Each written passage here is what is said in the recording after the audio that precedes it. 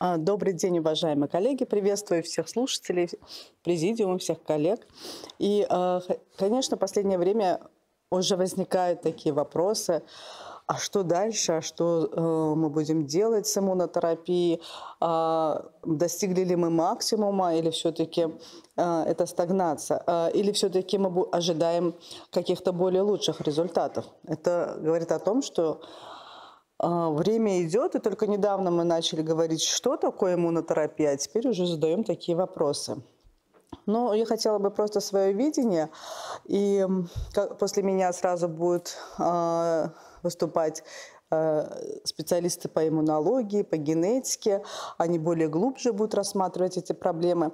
А, я хотела бы просто акцентировать внимание, что, да, скорее всего, а, мы видим, что развивается иммунотерапия, старается развиваться, а, проходят большие клинические исследования, очень много клинических исследований. конечно, в первую очередь это направление на ранние стадии.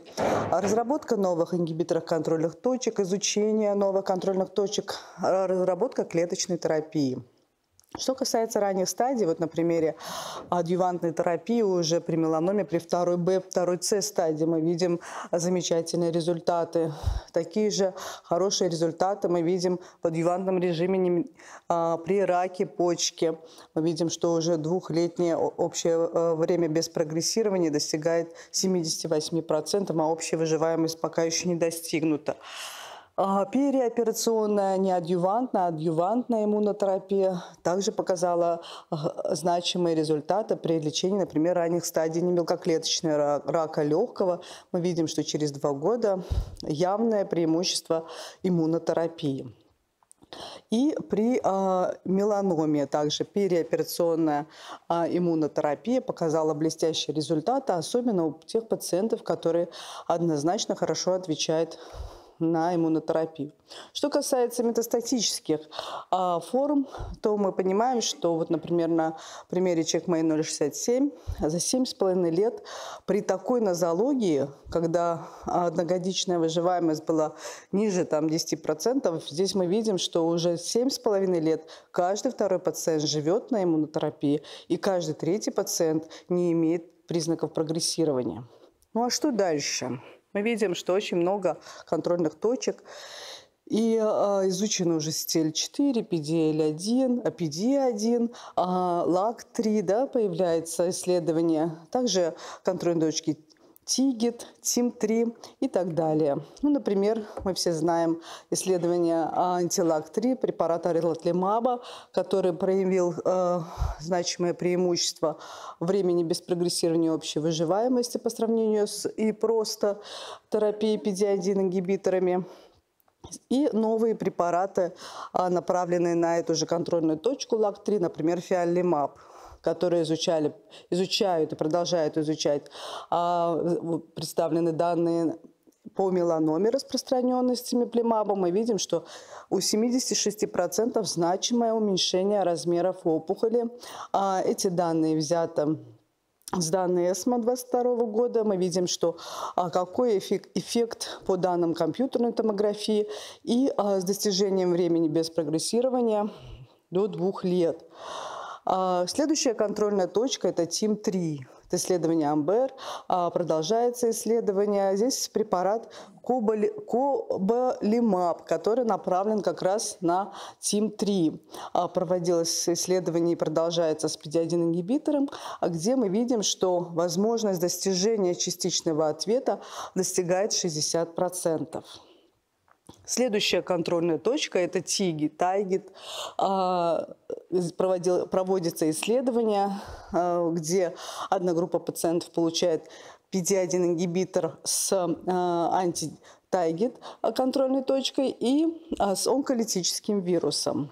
Ну и по данным, предварительным данным, получено, что комбинация э, ингибирования этих двух точек PD-1 и э, Тайгет приводит к э, более лучшему объективному ответу. Понятно, что сейчас малое количество пациентов, но работа продолжается, и пока предварительные результаты показывают, что данная комбинация превосходит и с возможностью достижения полных ответов клеточная терапия а, или создание на беспецифических антител Для чего нужны эти биспецифические антитела?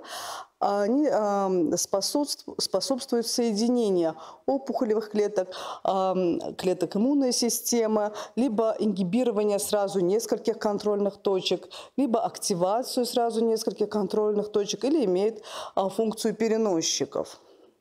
Вот, например, представлены данные нового беспецифического антитела. Это CTL4PD1. Как говорится, в одном антителе, в одном флаконе. Этот препарат может одновременно а, ингибировать PD1 и CTL4. И мы видим, что данная комбинация изучалась при мелкоклеточном раке легкого с химиотерапией по сравнению с стандартной химиотерапией пембролизумабом.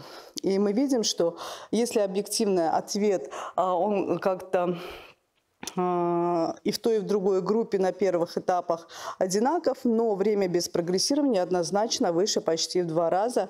И мы, мы видим, что а, эффективность на данной комбинации, вот водопад справа, значимо, значим при использовании такого антитела.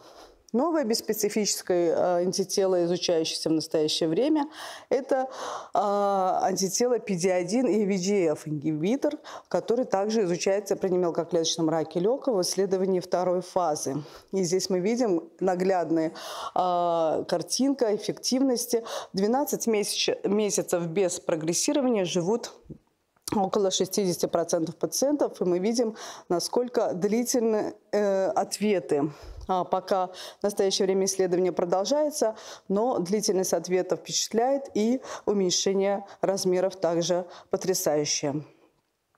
Что касается клеточной терапии, мы все слышим КАР-терапия, ТЦР-терапия. Это новое направление, но мы все понимаем, и мы, может, дальше услышим, что это, конечно, направление, требующее огромных затрат, огромного, самого современного количества оборудования, сил и, конечно, умов.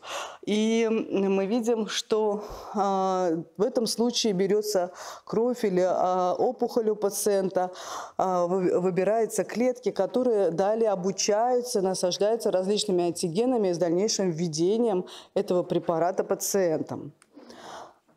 Сейчас, в настоящее время, очень а, несколько уже генераций. Мы видим уже третья, четвертая генерация. Они отличаются тем, что на них а, нагромождает и несколько новые и новые домены, которые позволяют более точно достичь мишени и а, увеличить, увеличив тем самым эффективность. Мы знаем, что в настоящее время картерапия а, приобрела большую популярность и эффективность при гематологических заболеваниях. Мы видим почти стопроцентные объективные ответы.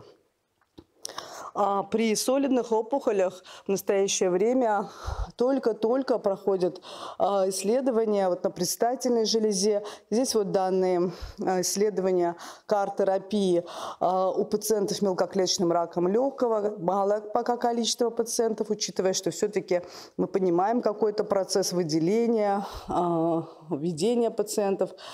И э, также получены э, значимые результаты частичного регресса, стабилизации. Ну, конечно, почему при солидных опухолях трудно развивается? Потому что очень много проблем. Это гетерогенность опухоли, это экспрессия антигенов, персистенция Т-клеток, а, это микроокружение опухоли. Мы видим вот слева, сколько много решений для инженеров необходимо, чтобы преодолеть те или иные трудности. Поэтому понимаем, что кар-терапия, она не может развиваться быстрыми темпами. Также в кар-терапии, в клеточной терапии используется способ редактирования генов. Мы можем себе представить, насколько это трудоемкий. Это как труд, когда а, из РНК вырезаются необходимые элементы и путем сшивания вставляется в ДНК пациентов, а, тем самым изменяя ту или иную функцию. И, а, к сожалению, данная клеточная терапия, она токсична она токсична, а, а основным проявлением является синдром выброса цитокинов, когда выбрасывается очень много противовоспалительных интерлейкинов, которые, как мы уже все знаем и встречались, и понимаем, что такое цитокиновый штурм. Также очень часто встречается нейротоксичность, офтальмологические осложнения. Поэтому сейчас в современных а, разработках и конференциях уже идут направления изучения, изучения токсичности клеточной терапии, потому что купирование и управляемость данной токсичности, конечно, один из способов преодоления и возможности расширения данной методики. Что касается вакцинотерапии, вакцинотерапия также трудоемкий процесс. А, также выделяются э, клетки а, пациента в виде крови, опухолевые клетки. Также обучаются эти клеточки, вводятся обратно пациенту. Здесь а, токсичность несколько меньше, но то также требует больших финансовых затрат. И вот представлено НАСКО исследование, о котором говорили ранее, э, комбинации вакцины а, с пембролизумабом, которое проявило достаточно выраженный эффект с достижением времени без прогрессирования а, которая показала преимущество по сравнению с только моноиммунотерапией со снижением риска рецидива на 44%. В нашем учреждении также ведутся работы по вакцинотерапии в отделении онкоиммунологии Балдуева Ирина Александровна, которая будет выступать далее. Мы видим, что и здесь получены положительные результаты а, лечения вакциной при саркомах мягких тканей по сравнению с химиотерапией.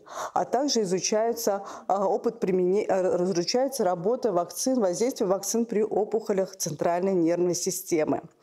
И хотелось бы в заключение сказать, что Конечно, а, иммунотерапия развивается, вот как гепард.